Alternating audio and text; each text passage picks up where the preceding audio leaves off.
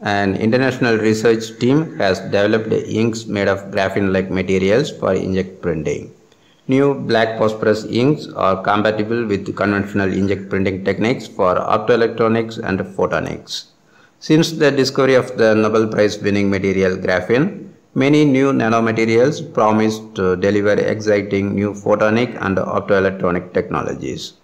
Black phosphorus is a particularly interesting post-graphene nanomaterial for next generation photonic and optoelectronic devices. Yet, despite remarkable performance in the lab, Practical real-world exploitation of this material has been hindered by complex material fabrication and its poor environmental stability. The research team's uh, inkjet printing demonstration makes possible for the first time the scalable mass fabrication of black phosphorus based uh, photonic and optoelectronic devices with long-term stability necessary for a wide range of industrial applications. Scientists optimized the chemical composition to achieve a stable ink through the balance of complex and competing fluidic effects.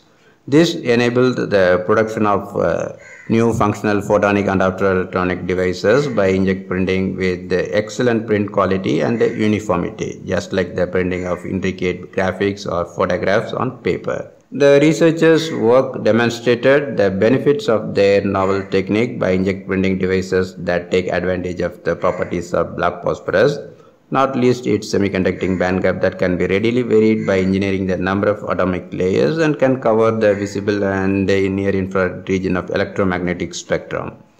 The researchers also demonstrated printed black phosphorus based nonlinear optical devices that can be easily inserted into lasers to act as ultra quick optical shutters, converting a continuous beam of laser radiation into a repetitive series of very short bursts of light suited for industrial and medical applications such as machining, imaging, and sensing. In the study, black phosphorus was also able to act as an efficient and highly responsive detector of light extending the wavelength range over which conventional silicon-based photodetectors can operate. Importantly, the researchers showed that the black phosphorus ink can be seamlessly integrated with the existing complementary metal oxide semiconductor, that is CMOS technologies, while the inkjet printing technique developed uh, offering the prospect of supporting the fabrication of so-called heterostructured materials that aim to capitalize on the benefits of distinct yet complementary properties of multiple nanomaterial layers through controlled fabrication.